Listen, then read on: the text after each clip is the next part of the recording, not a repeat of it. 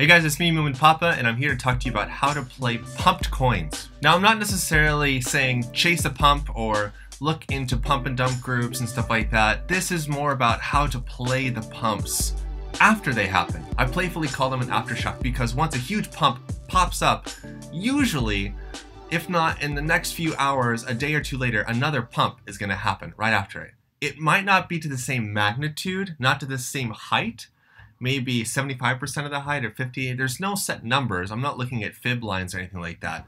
And fib lines pertain to Fibonacci lines, which I don't prescribe to at all. But basically, this is a lot easier than you really realize it is. Really realize? So what you want to do is you want to look in that red column on the side. And once you're on this red column on the side, just scan and look at those charts and just go to um, TradingView. So BCPT on TradingView and we're going to look at Bittrex because that's what we're on. Lo and behold, look at that, it was pumped. So we can look back in the chart and see, yeah, it was pumped here and there. Thank you, TradingView. Yes, thank you. It's pumped back here, about 30%, 20%, 40%, 30%. So the median like pump amount would be like 20%. Let's see what this one was. This one was a big one. That was really big. So what would I do here? Would I buy this and wait for it to pump again? No, not really. I mean, there's no pattern here. Do, do you know what I'm talking about? Like this right here, seeing this one and then this pump happened, then yes. This next one and looking at this, thinking this is one, two, three, four, five, six, seven, eight days. I'm expecting that within the next eight days it would pump again. And then one, two, three, four, five, six, seven, a week later, it pumps up. And what, what if I bought it right here at the bottom of where it was, the close of that day? And I just planned on getting 20%. I could have got 20% six days later. Some of you might argue with me saying six days is too long to have your funds tied up in a trade, waiting for it to pop. That's fine. You don't have to do this. But for those of you that are looking at ways to ride these pumps and to profit from them and grow your account quickly, it does take some patience. Let's look at another chart. So we have power, Power Ledger on Bittrex. Here we go. So this one I might be more interested in playing.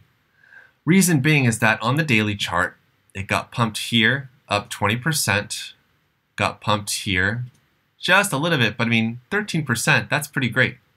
Got pumped a lot, made a nice rally, pumped up 20%, fell down, pumped up, fell down, pumped up, and then here we go, fell down and pumped up again. So I would probably play this. When would I buy this one? Mm, I would probably buy it here, to be honest. I would buy it right above 4,000 Satoshi, so maybe 4,020 Satoshi. Probably, right around there. Why would I buy this again?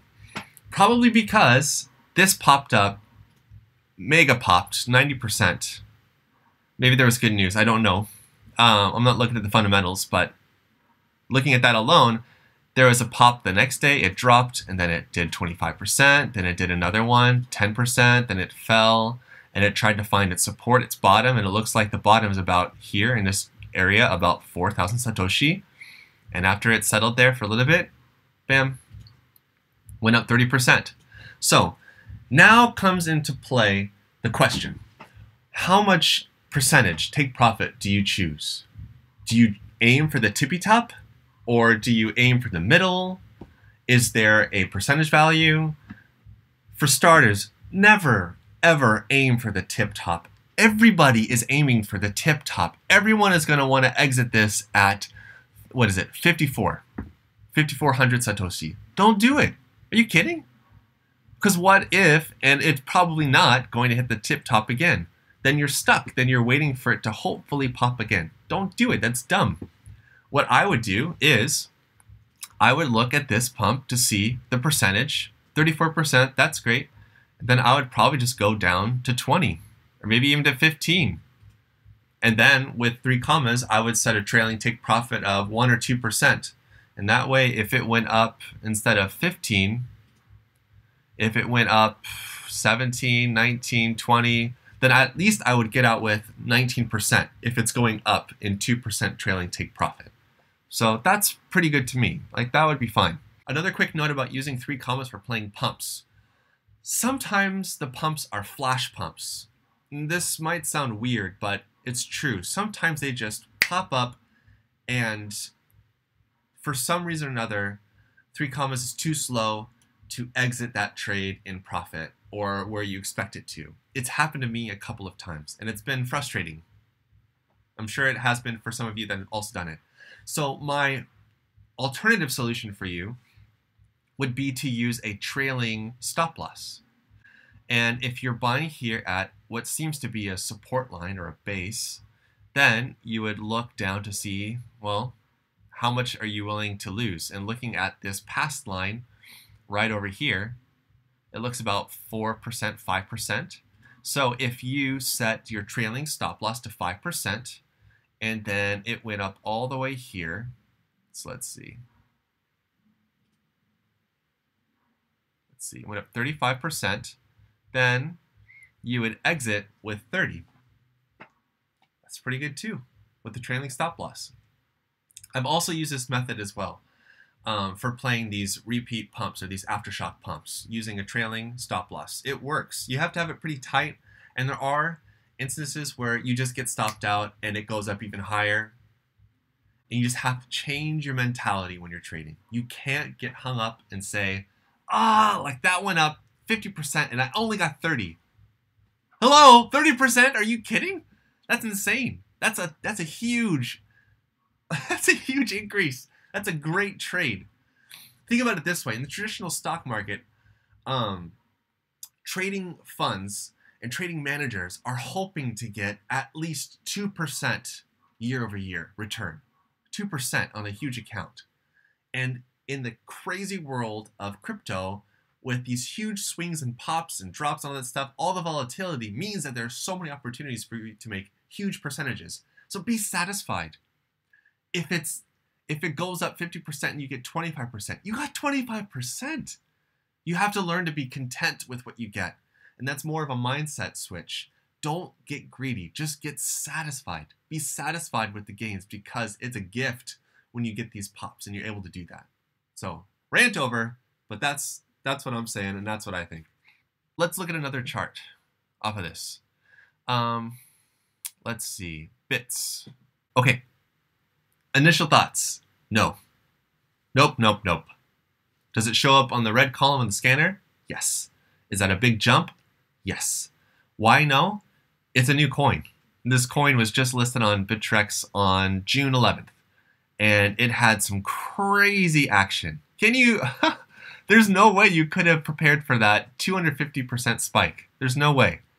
Um, maybe after that happened, then you would say, well, I'll play this looks like an, a support line here, and then you could made some decent percentage values over and over. But right now, it's just way too risky. Let's change it. And it's also very low volume. Um, here's a good candidate for fat finger catching, to be honest. Seeing this huge drop right here, if I would have caught that and noticed it, then I would have set um, my fishing line for fat finger fishing at about the midline, right about here. And just looking at 50% of this line, so 15%. And then I would have got filled. 50% drop down to get 20%. That's pretty great. And I would just say, hey, I'll do it again at that 15% value. Or maybe I might even make it make it less. Maybe I might make it just 10% from this bottom line. So then I would have got filled two more times. So those of you naysayers that say you can't find fat fingers and you can't do blah blah blah, just look for when they happen, and lo and behold, they'll happen again. That's the secret to fat finger fishing, and it's the same thing for pumps. So let's look at a different chart. I want to take some time to explain the color coding purpose on the 24 hour spread and the near 24 hour um, columns, columns F and G. So for starters on G, you'll notice that you'll see several coins actually a lot of coins. I can't count them all because the list is so long, but there are a lot of these coins here that are green. But like MUE and AID and ANT and Ardor aren't showing up. That's because of this filter that's set here.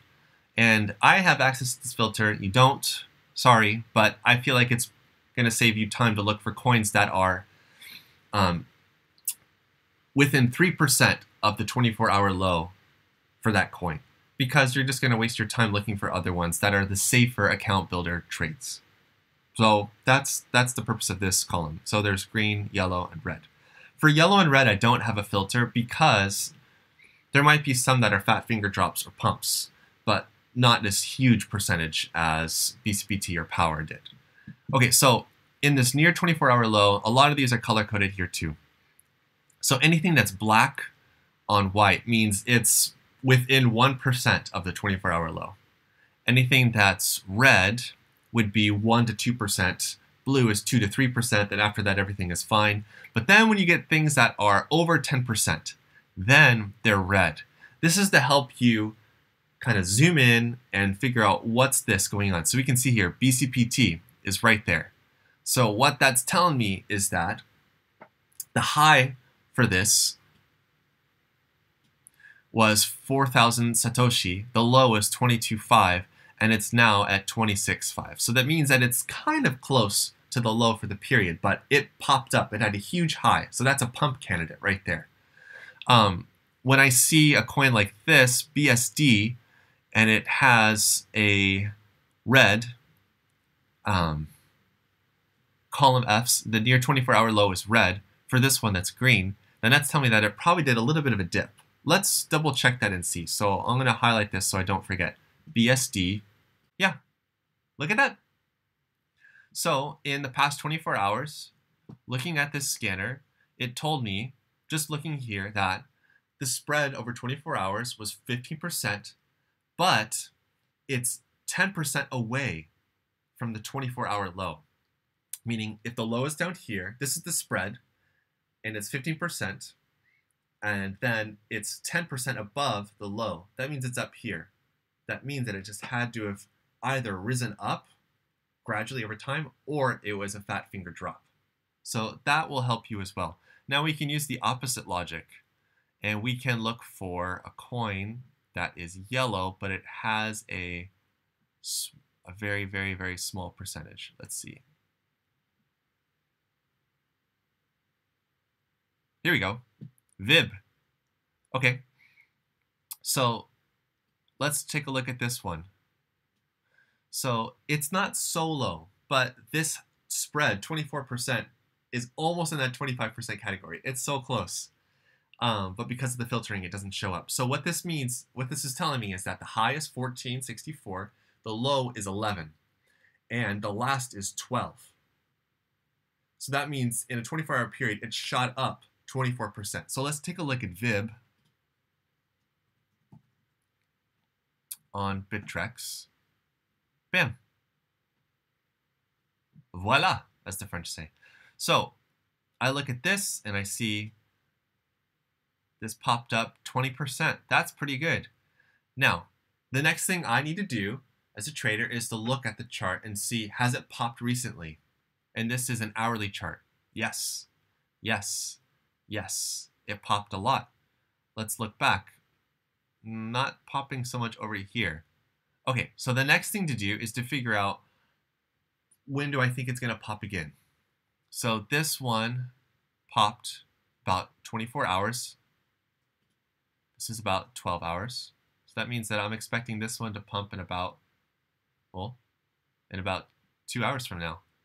So there's a high probability that this one will pop again. Now, do I put my take profit at the very tip top? No. Just settle for something lower, like this, like 1392. That's that's 16%. That's fantastic. That there's nothing to complain about there. Okay, so Viberate is also on Binance. You saw that when it popped up and was looking for it. So what about coins that are not on Binance but that pop often?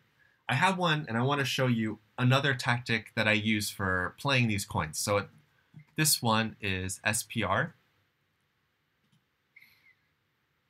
Um, this one had a lot of action. Unfortunately, I didn't play most of these because I was busy doing other things and I was dumb. That's the real answer. I was dumb.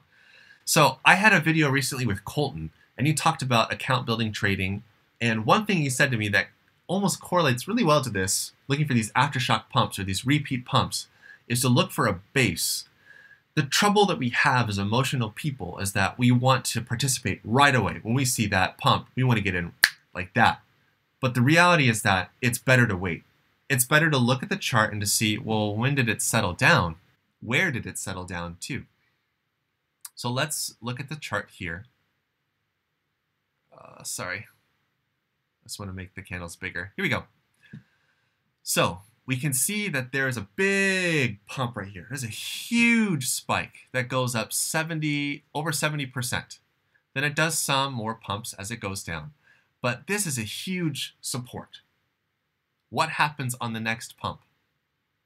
It's near that support, goes under it, pops up 34%. Let's look at the next one.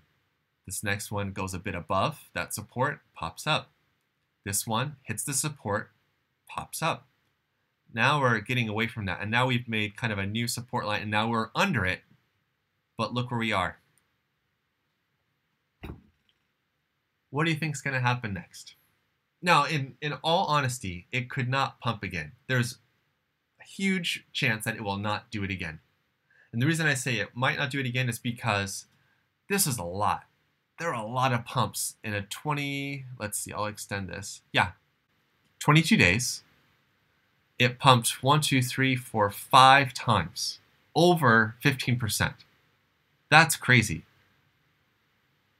But it could probably happen again, and I think it will. I actually posted this on the Discord server saying, keep your eyes open.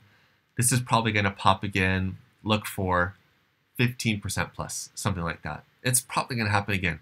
Now, if you don't have the freedom um, due to your lifestyle or your job or your family to look for these coins like I do, even though I have all of those, I make the time to do it. Not to say that you should be making the time to do it, but I just, I do. I think it's fun. It's a game to me.